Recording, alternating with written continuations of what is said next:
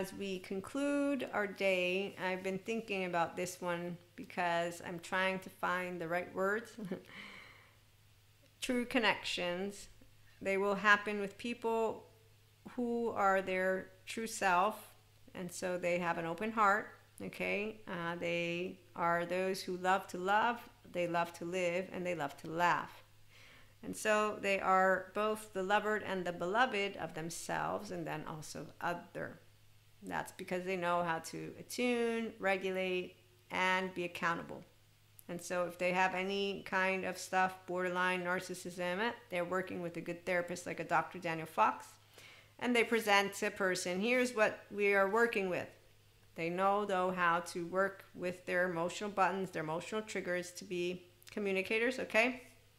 just so we're clear before we move on, if we have a person who has the basic attachment um, wounds or ruptures, that's even more great, meaning it's straightforward because for borderline narcissism, we have a lot more that we are working with due to there being a lot more pain and um, suffering that has taken place. So it just requires a bit more of wiggle room for people to work with that one. And so that's a side note. We can chit chat about those in the future, but for now, as I break it down, so if there's non secure attachment or disorganized, okay, even though disorganized, we're already leading ourselves to potentially dealing with dissociative identity disorder or dissociative disorders. So even here, but if they're working with a good therapist and they're meaning on their work, okay, so they're wanting to become their lover and beloved, to get completely into knowing self attuning, self soothing, and self regulating they want to be healthy other and they want, okay? So that's where we're going to be working together as people. And then for the childhood trauma, it's a straightforward one for low self esteem and dark communication. And that's because we have Patrick Teahan, for example, great childhood trauma survivor, healing, healing therapist, who shares how not to project and how you can go work with him in the community. And he has a lot of proactive tips immediately like Dr. Daniel Fox. Okay, so with that, we then have those of us who are healthy others. We know non reactivity, we know self regulation, accountability. That's because we didn't lose our sense of self, we own it. Okay, so with all that being said, you can only be a true self when you own, observe, witness, narrate. Thank you, Dr. Daniel Siegel. Your sense of self, your soul of self, your core, your narrative, your relational. There's no shame, blame, fault, revenge None of the low self esteem stuff. There's no unkind business. There's if my behavior maladaptive comes up or my adaptive child, I'm aware of it because I've been working really well with my good therapist and I'm not going to have partner or partners as my therapists are working my stuff, putting up with my shit. No, this is where we regulate and become grown-ups and emotionally mentally and physically mature together okay? So you love to love live and laugh. No laundry. The laundry is for the zen master. Okay so with that let me read to you and then we'll talk a little bit more. The lover and the beloved. When you move beyond consciousness you caress the beloved. When you move into the unknown beyond everything the beloved caresses you it is not enough to love me.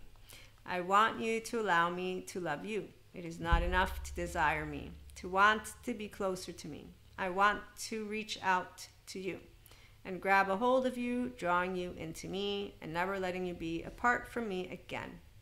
There is so much more for us to experience, you and me, than simply gazing, even with love, at each other from a distance. Let me take you into my arms. Let me hold you until we cease to know or care where you and I once were, you and I. For instead, we will be one. Will you allow it? Will you allow me? Will you allow us to be? Question mark.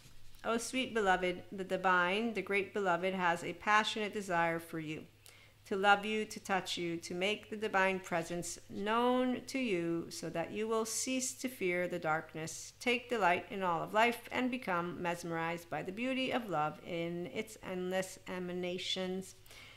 When you are able to take delight in allowing yourself to receive life and love and to receive all that you can be, this is me continuing then you will know, faith or not, that self discovery with self worth enlightenment. So when you have people who know how to live spirituality or mindfully, you will have people who take the human gift and unlike that Zen master of suffering, they are able to move beyond death and life in the secondary consciousness to connect with that which is the infinite unknown, unexpected, unwanted, with an open heart while going with the flow. So integration of the brain is what we're talking about. And them having curiosity, open, accepting, and loving hearts. So being in the present and the now, which is why they're living mindfulness day to day.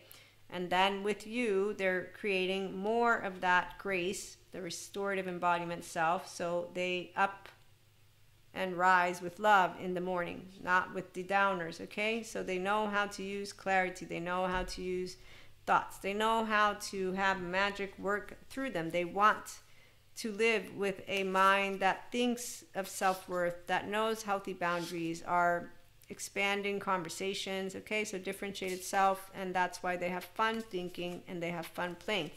Life doesn't weigh them down. That's what we are here at 5D, if you will, here at IHP, and when you are able to be yourself as a true connection.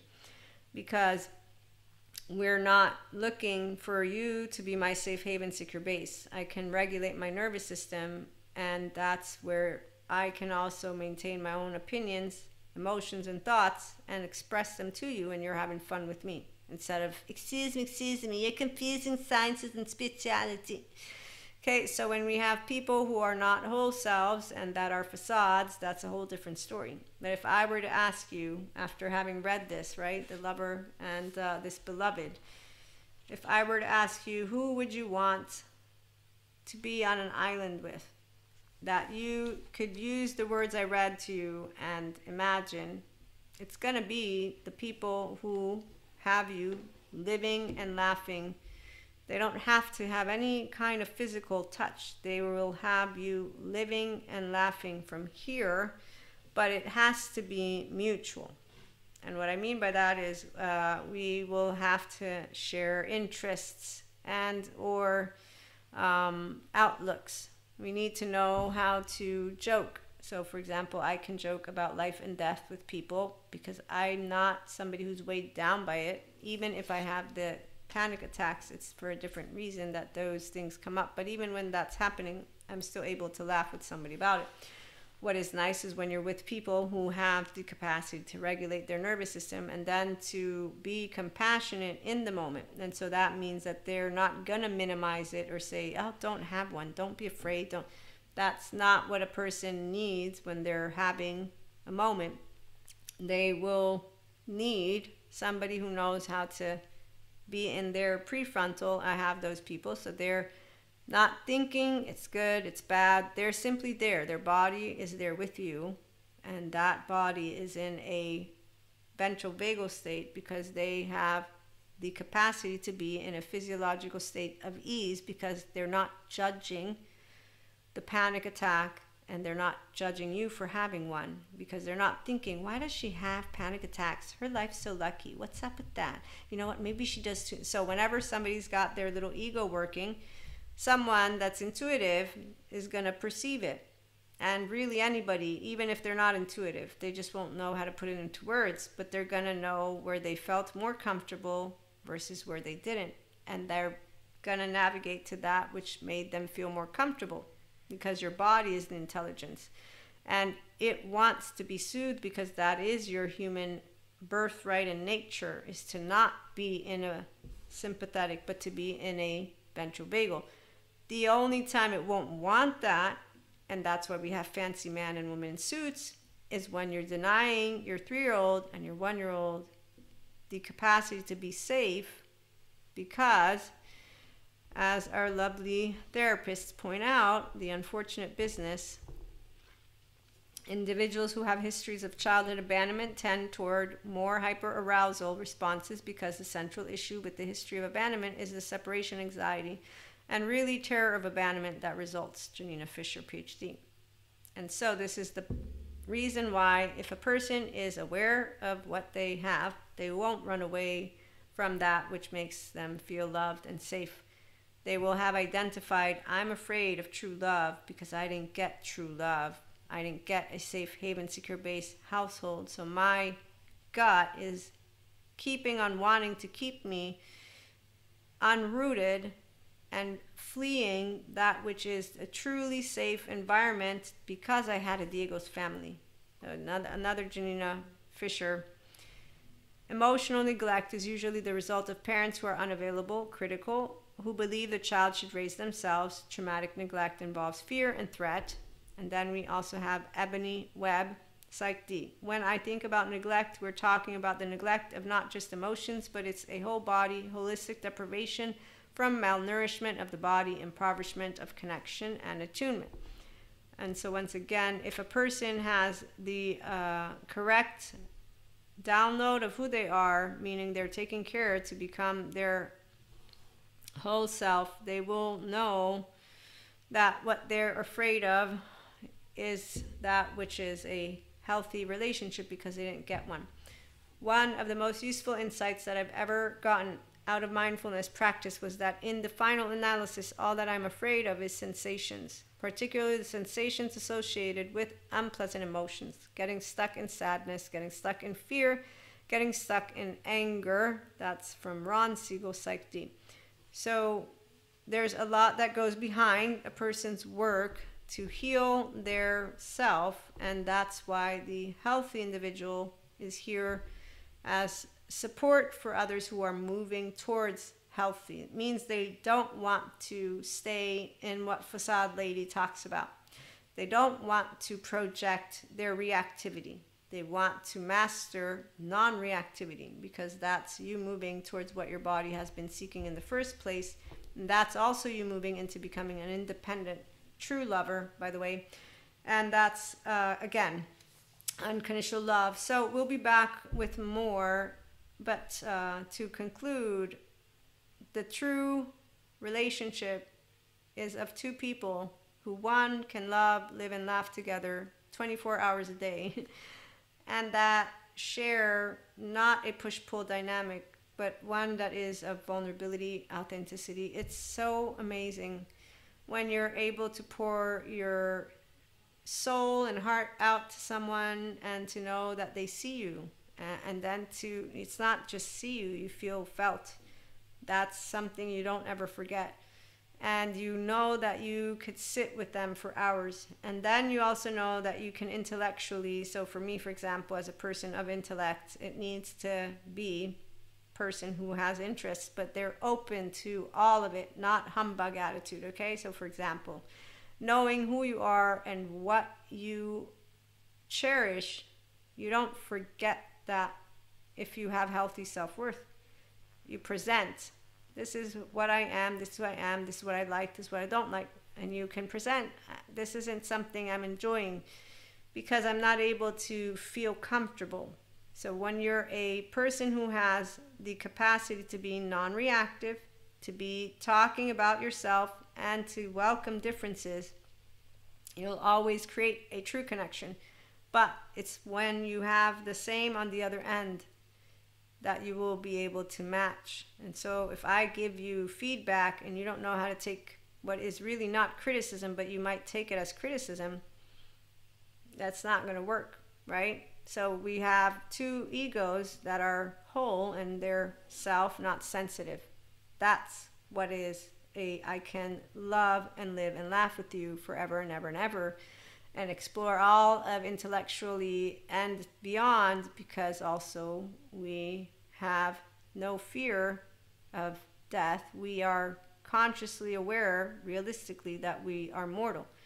And we have internally secure attachment, or we're getting there, which is why we know that we can't say we can last forever in the sense of that living, but we can say we're committed to each other and we can mean it and when you find those who are healthy self worth, they will say it and mean it. And when you find somebody who says it, then they don't mean it, you don't make it into they're an evil son of an asshole. you allow yourself to know that there are those who don't take attachment and trauma healing seriously. They got a facade man and woman who are perfect examples of people who live relationships the way they do. What can I say? Um, what I can say is this you may be right, I may be crazy, but it might just be a lunatic you're looking for. So here's the lunatic when you're able to be mindful and flawed with integrity, the way that I share with you all, you're going to know the difference between what is true love. It doesn't ever go away. You won't ever have a dwindling down of that which is true because it's not fake.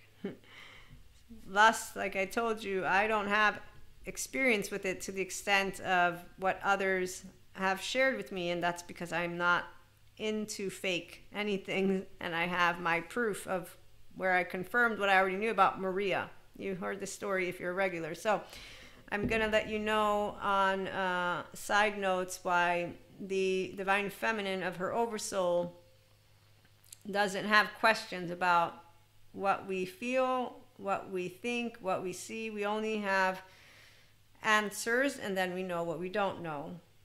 And then we leave alone the rest, but we don't lose the capacity to be grateful for every single member of our oversoul.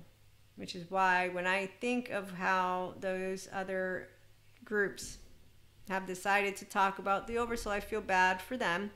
Um, not for me, but I feel bad for them because they have dehumanized the relationships that are of people that are here and and that's sad to me because when you're mindfully living and loving right now we've shared 16 17 minutes if you're still here and then if you watch the other one that's something meaningful you spent time with me i thank you for that when you're with the person who sees you and then laughs with you that's unforgettable and when they love you for who you are that's amazing.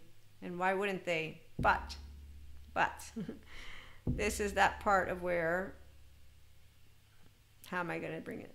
Okay, I'm going to do it this way. So for my mono amory monogamous people, when they say I could never share my person, I understand what they're saying.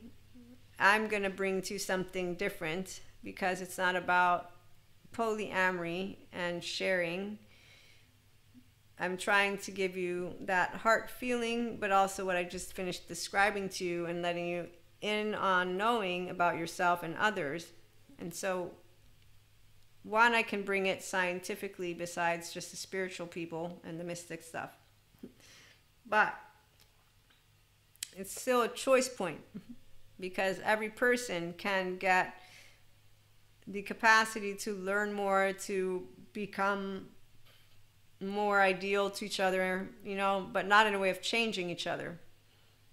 However, here's what if you do know who you are to a T pretty much, you're going to not have questions of who is a perfect fit for you monoamory, monogamous, or polyamorous. Which is also why while Jessica Fern shares that she thinks polyamory is the way to support people to get securely attached, I beg to differ because being securely attached means you take note of learning to love yourself first so that you can be a version of yourself that is going to present consistently who you are. You're choosing to take care of this uh, inner child that was yours with all the good attachment trauma, okay? The mystics the 5D mystics don't disregard. Those of us who are in the holistic practices from the 5D frequency don't disregard any of good trauma experts. And we don't make it into competition and we're not replacing therapy. Therapy is the number one thing if I meet anyone who is not yet their whole self because they need to learn how to navigate their nervous system so that they can then put into practice mindfulness safely and that we can know if they have a moment or if they have alters, what can we do? So that's the part of why I collaborate with good therapists because if I need them, I'm going to say, hey, I got one of my mentorees, I got one of my masterclass peeps, I got a spiritual retreat coming up. Who's available to be here in case I need you? Stuff like that. The ones who they um, make it into not a big deal, they don't understand how many people walk around with alters without even knowing it because they don't have access or interest in the same information that I do. And then they have shamans who say, Don't go to therapy, I can heal you, and da da da. It's no, you don't. You don't heal that shit. You don't heal behavior. The pattern of behavior comes from their childhood. You can clear, yes, their energy sphere. The way that you behave, I've seen it. This is why I'm speaking about it. I've seen people who think that they don't need to go and that they can do all other stuff. And there are the somatic therapists who say, ah, their body's healing. But I notice so many not making it all the way through because they have diminished and disregarded the opportunity to go to get good therapy. So, anyways, side note, side note, I was trying to get you all just to conclude with um, the part that when you meet uh, true connection, it's it's a true connection on all levels, and we don't have questions, we have answers. If you're a mystic, and you also do know that nothing's set in stone, you're not afraid, which is why you're also not somebody who says I don't share. Uh, you're also not somebody who um, makes it into a done deal if things don't go exactly where you thought they would go. But you also know when there are those who are not a part of those connections anymore. So I was also trying to get to that. There are those who, in the years, you will notice that your energetic imprint and theirs don't have a big exchange. It's because of those, remember, the light bulbs that are going out. So they're facades and they will keep on being a part of our oversoul because we are a big oversoul. And then when they have moments of um, reminiscing, they will do their little thing. And it's a little thing because it's a little game of nothing except for when people feel in a moment of, uh, as Dr. Daniel Siegel says, once you've created a safe haven, secure based connection with someone, you're always going to be that safe space for them. Which is why, again, who would you want to wake up with tomorrow? Is my question. And you'll know who it is. And you'll know it because of your amygdala. Like I know who I would choose. and I know how and why and all that. You know what I mean? So you know yourself if you know yourself. It's not based on pretend facade stories. It's going to be based on tangible aspects of your day to day. If you're healthy self worth, which, I mean, we're 22 minutes in. I'm pretty sure you are. So thank you for stopping by. Have a good one.